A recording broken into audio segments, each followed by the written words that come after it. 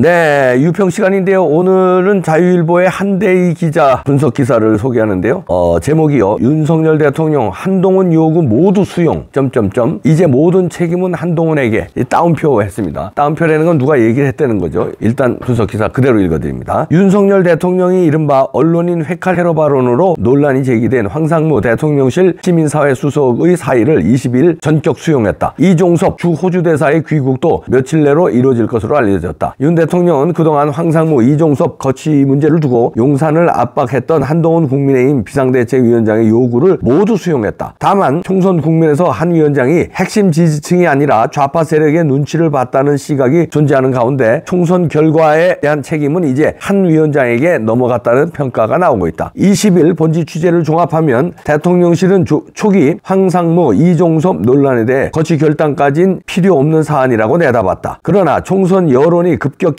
악화하는 이유가 해당 사건 때문이라는 여당의 압박에 본래 입장에서 선회한 것이다. 이에 대해 여권에선 윤 대통령이 한 위원장의 요구를 모두 수용했다는 점에서 총선 결과에 대한 책임은 이제 한 위원장에게 넘어갔다는 평가가 내놨다. 김대호 사회디자인연구소 소장은 20일 본지와 통화에서 윤 대통령이 한 위원장의 요구를 모두 수용한 것을 계기로 향후 총선의 모든 책임이 한 위원장에게로 넘어갔다 하면서 다만 한 위원장은 최근 리얼미터 여론조사에서 국민의 힘의 지지율이 내려가는 원인을 황상무 이종섭 논란에서 찾는데 이는 잘못 알고 있는 것이다. 물론 해당 사안으로 일부 중도층의 이탈이 있었겠지만 대부분은 보수층이 도태우 장예찬 후보의 공천을 취소시킨 이유 때문에 국민의힘을 떠난 것이라고 말했다. 이 같은 분석은 지난 18일 발표된 리얼미터 여론조사에서 잘 나타나고 있다. 리얼미터는 이날 에너지 경제 의뢰로 지난 15일에서 11일에서 15일 전국 18세 이상 유권자 2,504명을 대상으로 조사한 결과를 발표했다.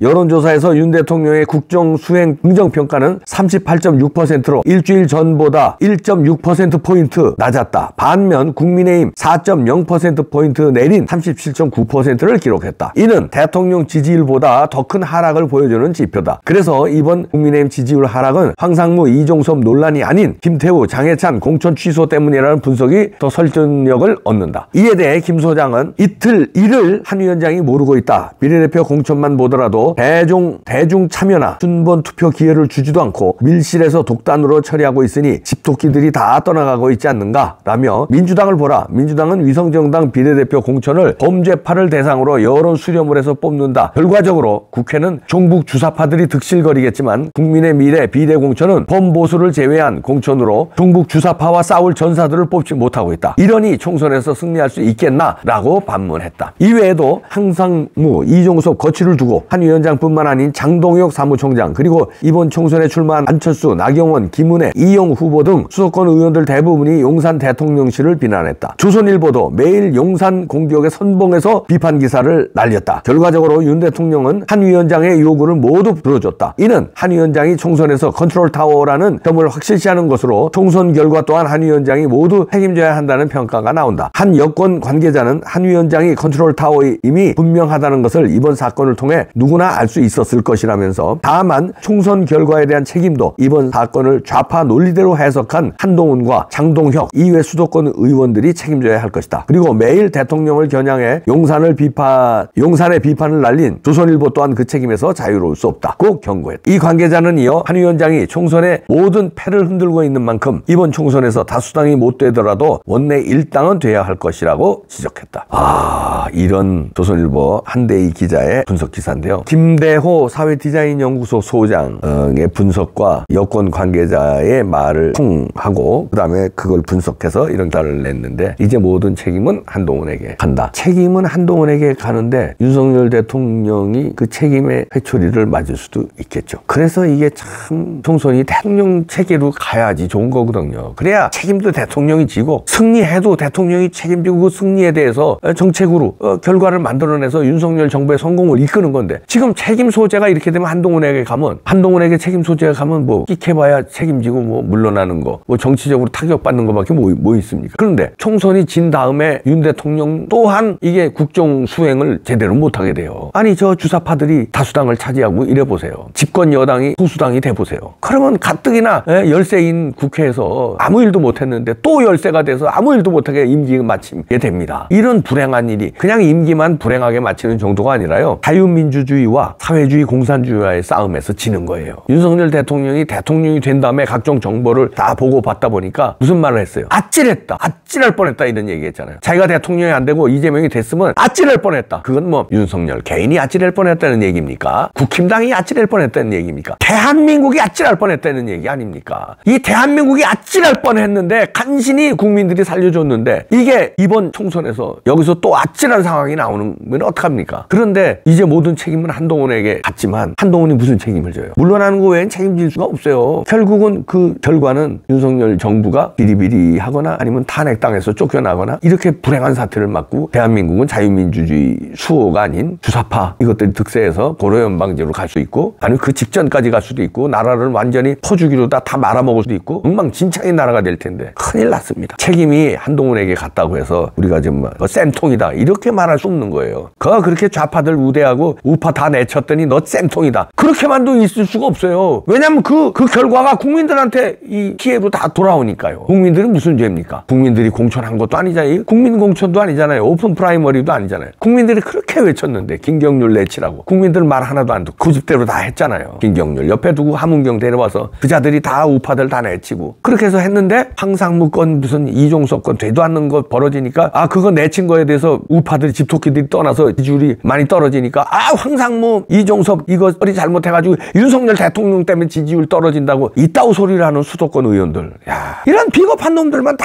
공천 받아가지고선 하니까 윤 대통령은 그래 좋다 알았어 이종석 야 와서 조사받고 불러오고 황상무인지 뭐 야야야 사표 내고 다 알았어 한동훈 시키는 대로 다 해.